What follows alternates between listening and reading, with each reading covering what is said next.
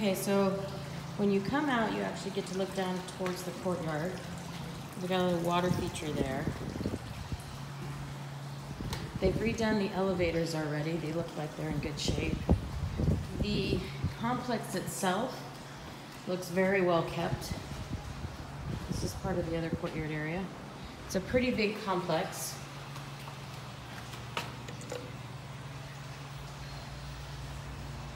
I'm gonna check on the washer dryer. I think it's about two and a half feet wide. So we'll see if they have it. So this is the elevators that they've all redone.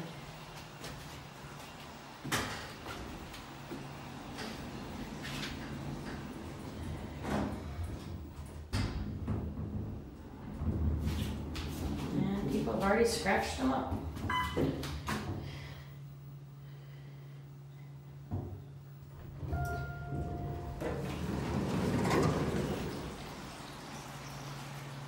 So they keep some pretty plants here.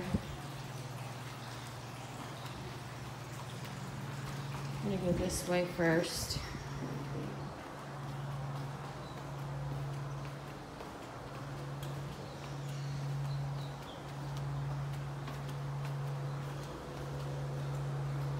All right, so here's the grounds and the parking lot.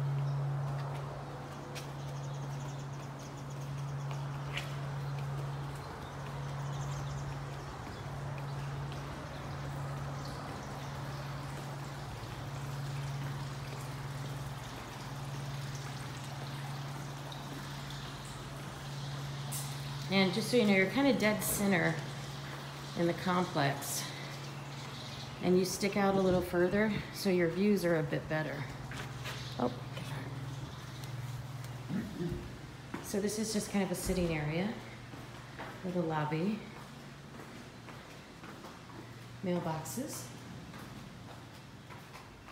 management office.